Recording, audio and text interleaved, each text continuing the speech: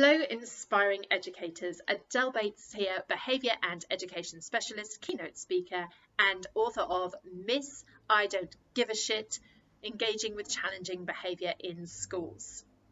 In this quick video, I want to share with you, my community, a little bit of a behind the scenes. Because a couple of weeks ago, I was interviewed on BBC Radio 4 as their expert on teenagers and behaviour.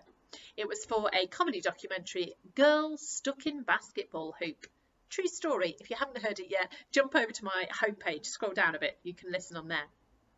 Inevitably, being national radio, bits were cut out, and this is the bit I want to share with you.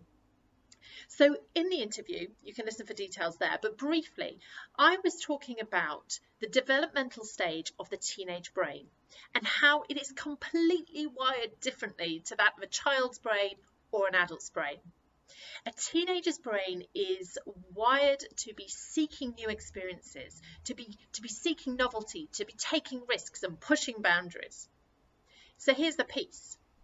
As school leaders, as teachers, as educators, if we know that about our learners, how can we start inviting and creating opportunities for those kind of experiences within the lesson planning so that that risk taking and boundary pushing and novelty seeking can be part of the positive um, trajectory of the child's education rather than a destructive, dangerous thing. For example, setting your books alight.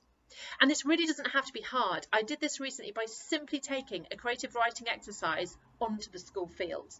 That was it, no extra planning required. And the engagement, because the novelty of doing English in the field was so much that the young people were engaged in a completely different way and behaviour was not an issue.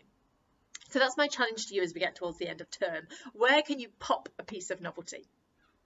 If you want more information about teenagers, how to communicate with them, how to engage them, so that you have the confidence to bring these kind of strategies into your classrooms, then jump over to my website at my shop. I have a three part masterclass all about teenagers and you can buy it there.